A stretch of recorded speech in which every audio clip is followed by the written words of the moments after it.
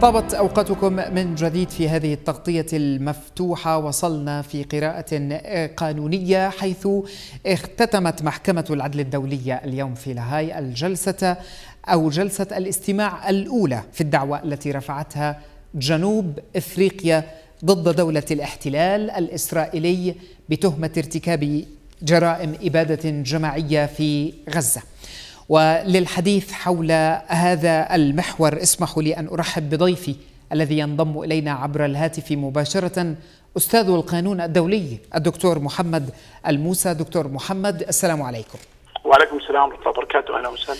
من المؤكد بأنك يعني استمعت وتابعت اليوم جلسة محكمة العدل الدولية ما الذي استوقفك في المرافعات القانونية التي قدمتها جنوب إفريقيا؟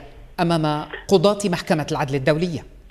الواقع إنه إنه يعني ربما القانونيون أو مختصو القانون الدولي الذين تابعوا المرافعه شعروا بتماسك تماسك الفريق الذي يمثل جنوب إفريقيا بمعنى تماسك من الناحية القانونية هم قدموا لائحه دعوة وطلب طلب بتدابير مستعجلة والآن وجدنا أنهم يحاولون أن يثبتوا الشروط اللازمة لكي تشير المحكمة أو تصدر امرا بتدابير تحفظية. طبعا هم ركزوا على أستطيع أن أقول على أربع مسائل، المسألة الأولى أرادوا أن يؤكدوا أن الأفعال التي يرتكبها الكيان الصهيوني تندرج ضمن تعريف الإبادة الجماعية أو أفعال الإبادة الواردة في المادة اثنين، هو من الناحية القانونية يكفي أن يثبت واحد. لكن هم ركزوا وقالوا أن أربعة أفعال ترتكب. بمعنى ان أن هناك قتل لأعضاء الجماعة الفلسطينية، هناك إلحاق أذى نفسي وضرر وعقلي وبدني جسيم، هناك فرض تدابير معيشية تهدف إلى إهلاكهم، وحاولوا أيضا أن يقولوا أن هناك تدابير لمنع الانجاب في الجماعة الإثنية. طبعا أريد أن أؤكد مسألة لأغراض التدا... لأغراض التدابير التحفظية وهي مسألة مهمة. لا يشترط حاليا في الطلب أن ي... أن أن يثبت ارتكاب الجريمة بشكل قطعي. يعني يكفي أن تقام أدلة تشير لأول وهلة برايما فاشيا أن أفعال محظورة بموجب الاتفاقيه ارتكبت. المحور الآخر الذي ركزت عليه جنوب إفريقيا أيضا هم أرادوا أن يؤكدوا فكرة أن الكيان الصهيوني يمعن بخرق التزامه بمنع ارتكاب جرائم الاباده الجماعية وأنه لابد من التدخل في هذا الإطار، هناك مسألة مهمة جدا ركزوا عليها وهي أعتقد أنها ستكون حاسم بفرض التدابير التحفظية، مسألة البيئة التي خلقها الكيان في قطاع غزة، بمعنى لو ذهبنا إلى الأمر الذي أصدرته المحكمة في قضية ماينمار وغامبيا نعم. وأيضا في قضية أوكرانيا ضد روسيا غامبيا ماينمار 2020 واوكرانيا روسيا 2022 نجد أنه المحكمة استندت إلى أن البيئة في البيئة البيئة المادية أصبحت تشير أن هناك أن أن حقوق الجماعة المحمية سيلحق بها ضرر غير قابل للإصلاح، ما يستدعي اتخاذ تدابير مستعجلة وتحفظية، وهذا جنوب إفريقيا في الواقع نجحت بشكل كبير جدا في الحقيقة في التأكيد عليه وإثباته من الناحية القانونية. دكتور محمد ولكن من المهم جدا أن نتحدث اليوم بمنتهى الوضوح والصراحة لأنه هناك مخاوف. اليوم طبعا. هناك مخاوف بأنه حكومة الاحتلال الإسرائيلي أو قانونون قانونيون إسرائيليون يقولون إن اليوم على جنوب إفريقيا أن تقدم إثباتات نية أن هناك كان نية لدى إسرائيل من أجل آه يعني القيام بإبادة جماعية. ازاء هذا هل من خشية أن تنتقل المحاكمة من الحقائق إلى حيز الجدال؟ طبعا من الطبيعي العنصر الأصعب جريمة الإباده الجماعية تعتبر في القانون الدولي جريمة الجرائم. نعم. وهي من أصعب الجرائم حقيقة في الإثبات بسبب الركن بسبب النيه الجرمية القصد الخاص نية الإبادة. نعم. اتجاه إرادة مرتكب أو المتآمر في الجريمة أو مرتكبها لتدمير جماعة معينة من الجماعات المحمية جزئيا أو كليا، طبعا هذا أصعب موضوع، لكن أريد أن أؤكد على مسالتين. يجب أن نميز بين الدعوة دعوة موضوع الدعوة أو أساس الدعوة نعم. وموضوع اللي اليوم كنا يعني كانت المحكمة تنظر بطلب التدابير المستعجلة. لأغراض صحيح. التدابير المستعجلة حسب اجتهادات المحاكم في قضايا مماثلة لا يشترط لأغراض التدابير المستعجلة لا يشترط إثبات وجود النية بصورة قاطعة. جميل هذه نقطة مهمة. أن أن يكون هناك كما قلت لاول وهلة ما يوحي بأن فعلا من الأفعال التي تندرج ضمن الاتفاقية قد ارتكب من هذه الناحية بالنسبة للتدابير المستعجله أنا لا أخشى من ذلك بصراحة. جميل. هذه نقطة مهمة جدا. فيما يتعلق بالدعوة الأصلية هي بتحتاج سنوات للبت بها. أساس الدعوة. نعم. هذا موضوع آخر. وأعتقد أيضا إنه مهمة الكيان لن تكون سهله بالرغم من أن الوفد يضم قانوني من أكبر أساتذة القانون الدولي بروفيسور مالكولم شو. إلا أن أعتقد أن الأفعال التي ارتكبت والتصريحات والأدلة لن تسمح لهم كثيرا لكن يبقى هناك احتمال. هذه مسألة قانونية. هذا الاحتمال ليس في التدابير المستعجلة بل في الدعوة الأصلية لاحقا جميل. دكتور محمد أنت تعلم بأنه إسرائيل هي مارقة مراوغة تستخدم كل الوسائل والأساليب من أجل الضغط وحتى تصل إلى حد الابتزاز للدول من أجل النزول عند رغبتها ودعم موقفها، غدا ستقدم مرافعتها أمام قضاة المحكمة يوم الجمعة. هل من مخاوف إذا ما تذرعت إسرائيل بأنها ارتكبت تلك أو تلك الفظائع بدعوى الدفاع عن عن نفسها أو حقها في الدفاع عن نفسها، هل من مخاوف أن يؤثر ذلك؟ شكرا سيد بسيم على هذا السؤال. الواقع حجة الدفاع عن النفس لا يمكن الاحتجاج بها لأكثر من سبب. يعني هاي مسألة يعني أولا المحتل ليس له أن, أن, أن يعني حتى اليوم إذا لاحظنا جنوب أفريقيا حاولت أن تؤكد أن أن القطاع تحت الاحتلال. لتؤكد أن الكيان قوة احتلال فليس له أن يتذرع بالدفاع عن النفس. أه. عندنا قاعدة بالقانون المعتدي لا يجوز أن يثير هو فعل الدفاع. أه. هذه الحجة ضعيفة. لا يمكن أن تبرر ارتكاب الإبادة الجماعية، لا ولا تبرر حتى الأفعال المرتكبة، يعني بصراحة حجه الدفاع عن النفس لن لن تسعفهم، لكن أنا أعتقد يعني قرات يعني لسه أريد أن أسمع غدا ما سيقولون، لكن هم اعتقد سيركزون على قضيه ان كل هدف كان يضرب كان يؤخذ عليه استشارة قانونية، بمعنى يريدون أن يقولوا أن نيتنا لم تكن الاباده، بدليل أننا كنا نريد أن نحترم القانون وما حصل تجاوز وليس عمل ليست إبادة مستهدفة بقدر ما هو فعل غير متناسب. قد يرقى لجريمة حرب لكنه ليس إبادة أعتقد أنهم بدفاعهم سيركزوا على هذه المسألة أكثر من يعني الدفاع عن نفسه يذكرونه لكن هم يعلمون أنه لن يجدي لأنه لم يجدي معهم سابقا في الرأي الاستشاري الخاص بالجدار. لدي نقطة مهمة جدا. اليوم وزارة الخارجية بعد انتهاء يعني مرافعات الجلسة الأولى اتهمت دولة جنوب إفريقية بأنها تعمل كذراع قانوني لحركة حماس. تخيل لك هذا الاتهام. على خلفية تلك الدعوة هل مثل هذه الاتهامات يؤثر في مسار الدعوة؟ لا لا هو هو أنا بصراحة عندما قرأت هذا التصريح شعرت ولاسمح لي يعني أنا بحب دائما أحافظ على الخطاب القانوني نعم. والمهنية لكن اسمح لي أقول أنني شعرت بإفلاس الكيان من الناحية القانونية. جميل. هذا كلام من ليس لديه حجة لا هناك حجة. يعني للأسف هذه ما قالوه يعني فقدانهم للمنطق القانوني فقدانهم للمنطق الدبلوماسي والسياسي ويعني أنهم ليس لديهم في الحقيقة ما يقولونه. لا هي جنوب إفريقيا بالعكس.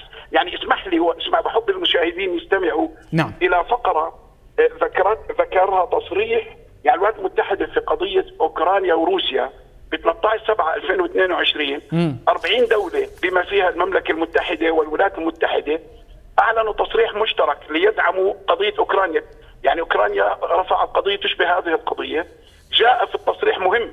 من مصلحة جميع الدول، تخيل حتى الولايات المتحدة تقول ذلك، من مصلحة جميع الدول الأطراف في اتفاقية منع جريمة الإبادة الجماعية، بل والمجتمع الدولي بشكل أوسع عدم خرق الاتفاقية أو إساءة استعمالها، بمعنى ما أردت أن أقوله جنوب إفريقيا لأن الالتزام أو الحق المخترق وجريمة الإبادة الجماعية تهم مصلحة المجتمع الدولي تملك حق وهي تصرفت باسم المجتمع الدولي نتيجة تقصيره أصلا. فبالتالي هي تدافع عن المجتمع الدولي وعن التزام في القانون الدولي نسميه التزام حجه على الكافة وأقامتها باسم المجتمع الدولي وكل الدول بالمناسبة ملزمة أن تمنع الاباده الجماعية وليس فقط جنوب إفريقيا. جميل، اليوم رحبت مجموعة من الدول والمنظمات الحقوقية المؤيدة لفلسطين خطوة جنوب إفريقيا، هناك من يتساءل بأنه هذا الترحيب والإعلان عن دعم خطوة جنوب إفريقيا هل له أثر أم أنه يبقى فقط دعما معنويا ولا يترك أثرا قانونيا حقيقيا على هذه الدعوة؟ لا هو الأصل أن لا بصراحة هو مسألة معنوية لكن الأصل أن لا يترك أثر بمعنى أن قضاة المحكمة في يعني في النظام الأساسي للمحكمة والممارسة القضائية الداخلية واللائحة الإجراء يجب أن يكونوا محايدين ومستقلين ويحكمون من واقع القضايا وفقا لقناعاتهم القانونية والأدلة المقدمة والأسانيد والاستنباطات. هذه مسألة فعلا كسب تأييد آه، بمعنى يعني مسائل لا الحقيقة لا تؤثر بالحكم ويجب أن لا تؤثر بصراحة. وحتى أن القضاة كما قلت يعملون بصفتهم قضاء وليس بممثلين لدولهم. هؤلاء بعد انتخابهم هم يعني قضاة دوليون مستقلون لا يأتمرون بأمر دول دولتهم أو دولة جنسيتهم. ولكن الخطوة اللاحقة بعد أن تقدم تل أبيب غدا مرافعتها للمحكمة ماذا تتوقع؟ ما هي الإجراءات التي ستأتي بعد طبعا إحنا أول سجلت القضية ب 29 12 الآن المحكمة فتحت لتستمع يعني تقديم الأدلة الخطية والفترة الخطية. الآن نحن بالمرحلة المرافعات الشفوية وجلسات الاستماع. بعد أن تنتهي جلسة الاستماع غدا سترفع المحكمة آه، آه، آه، الآن المحكمة تنظر بطلب التدابير المستعجلة وليس نعم. بأساس الدعوة. نعم نعم. سترفع سترفع المحكمة يعني سترفع الإجراءات وتقرر الدخول في مرحلة المداولة. سيتداولون بالطلب عادة أسبوعين ثلاث أسابيع. أقصى حد ولا أعتقد ذلك أسبوعين ثلاث أسابيع سيصدر أمر بالتدابير المستعجلة في هذا الاطار بتوقع اخر مع باخر الشهر أو بدايه الشهر القادم حسب حسب يعني اذا بنرصد عادة المدد اللي بتاخذها المحكمة لأنه ما في قاعدة بعد أن ترفع للمداولة. يعني غدا بعد بعد الجلسات الشفوية سترفع للمداولة. أسبوعين ثلاثة ستبت المحكمة بطلب التدابير المستعجلة. وعلى رأسها هو وقف فوري لإطلاق النار أليس كذلك؟ هذه مسألة بدي أوضح مسألة. نعم. هلأ جنوب إفريقيا طلباتها تشبه نفس الطلبات في قضية بصراحة تشبه نفس الطلبات بقضية كامبيا وماينمار اللي هو آه، وقف الأعمال العسكرية ضد غزه وفي القطاع. بشكل آه، فوري وكامل والسماح بالمساعدات وعودة الحياة وعدم تدمير البيئة الحياتية في القطاع. لكن آه، بدي أوضح مسألة حسب النظام الأساسي للمحكمة وقواعد الإجراء. يجوز للمحكمة أن تأتي أن يعني أن تقر جزءا من التدابير المطلوبة أو أن لا تأخذ بها وتستحدث تدابير جديدة هي تراها مناسبة أو أن تعدل بها. أيوة. هلأ هي جنوب أفريقيا طلبت ذلك وأتمنى المحكمة أن لا تعدل بها أن تقوم بذلك يعني أن تكون آه، وقفا فوريا لجميع العمليات العسكرية في القطاع أو ضده كما طلبت جنوب افريقيا. إذا إذا افترضنا بأنه فعلا المحكمة قررت بأنه يكون في هناك وقف فوري لإطلاق النار فيما يتعلق بإلزام الكيان باحترام وتطبيق قرار المحكمة علما أنه لدينا سابقة يعني كان في قرار ضد روسيا من أجل وقف إطلاق النار في والانسحاب من من أوكرانيا أراضي اوكرانيا ولكنها لم تلتزم أيضا. أه، شكرا طبعا بدي أوضح مسألة. إنه أه، يجب أن نميز بالقانون الدولي بين م. إلزامية الأمر الذي سيصدر نعم. وبين تنفيذه. هذا من الناحية القانونية. الأمر بالتدابير المستعجلة. المحكمة حسمت الأمر. م. قالت قالت الأوامر التي تصدر بالتدابير التحفظية ملزمة للدولة التي تصدر ضدها. جميل. لكن فكرة التنفيذ هنا. م. الواقع هذا أمر وليس حكم قضائي. بمعنى إنه المادة 94 من ميثاق الأمم المتحدة لا تنطبق عليه. المادة 94 فيما يتعلق انه الدولة التي تأخذ حكما قضائيا يمكن أن تذهب إلى مجلس الأمن في حالة عدم انصياع الدولة الأخرى إليه هذا تنطبق على الأحكام القضائية. لكن لدينا احتمالات أخرى يعني أن نلجأ إلى مجلس الأمن. اسمح لي دقيقتين بوضح هنا مسائل مهمة. تفضل طبعا. يمكن يمكن يمكن يمكن أن يعتبر عدم الامتثال الكيان الصهيوني لهذه التد... للأمر بالتدابير التحفظية تهديد لاسم الامن دوليا يمكن أن نلجأ للمادة 37 من ميثاق المتحده على أساس إخفاق السبل القضائية لتسوية النزاع وتلجأ جنوب إفريقيا لمجلس الأمن، أيضا أريد أن أذكر إنه محكمة العدل الدوليه بال 2020 بسبب السابقه اللي ذكرتها آه، سيد آه، سيد بسيم أنشأت لجنة أدهوك، لجنة خاصة من ثلاث قضاه لمتابعة آه، لمتابعة تنفيذ التدابير التحفظية التي صحيح. تأخذ بها والمحكمة في اجتهاداتها القضائية اعتبرت عدم الامتثال لوحده عدم الامتثال لوحده يشكل خرقا واخلالا من جانب الدولة، يعني هناك جملة من الميكانيزمات والآليات التي يمكن يسعف تسعفنا، إلى جانب أريد أن أوضح مسألة. م. هنا الأمر بالتدابير المستعجله يتعلق بإبادة جماعية.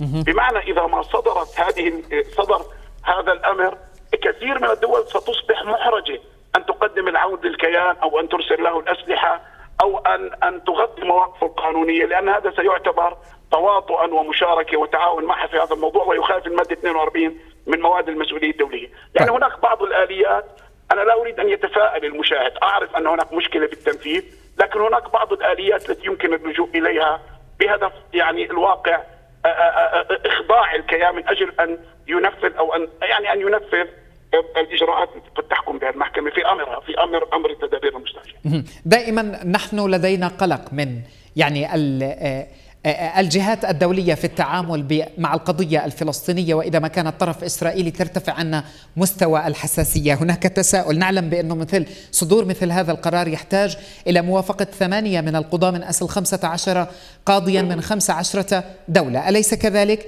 التخوف لا لا هنا اسمح لي, اسمح لي أوضح. المحكمة آه.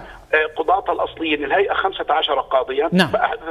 لابد أن أذكر هذه المعلومات لأوضح طريقة التصويت تفضل 15 قاضيا في هذه المحكمة يشارك فيها هيئة من 17 قاضي لماذا؟ م. لأن جنوب إفريقيا والكيان الصهيوني ليس بين أعضاء المحكمة قاض آه، يحمل جنسية أي منهم فيجوز للدولة م. المتقاضية عندما لا يكون قاضي ضمن هيئة المحكمة يحمل جنسيتها أن تسمي قاضي بنسميه ادهوك جاج قاضي مناسبة أو خاص يعني قاضي ينظر في تلك القضية بالتحديد. نعم. فجنوب أفريقيا سمت قاضي والكيان الصهيوني سمى قاضي هو قاضي محكمة العليا الإسرائيلية اهرون باراك.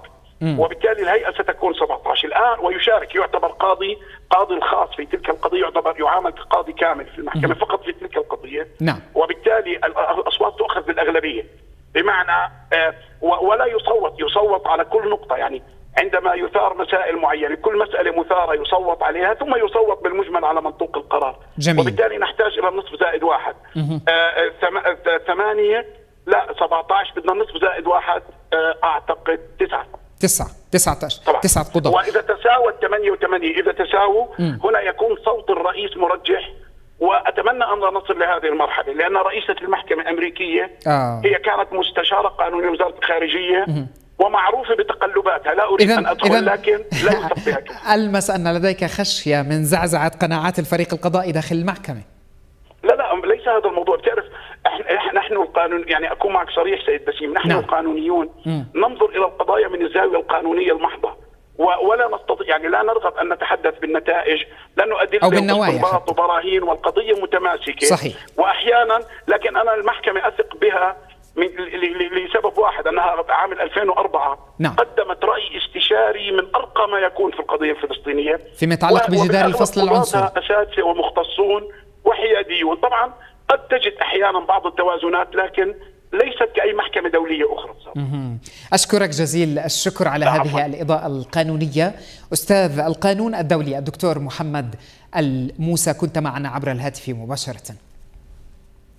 إذا وبهذه القراءة القانونية لمسار الدعوة التي رفعتها جنوب إفريقيا ضد دولة الاحتلال الإسرائيلي التي ترتكب جرائم الإبادة الجماعية في قطاع غزة. نأتي على نهاية هذه التغطية. أشكر لكم طيب المتابعة. أترككم بحفظ الله ورعايته. سلام الله عليكم.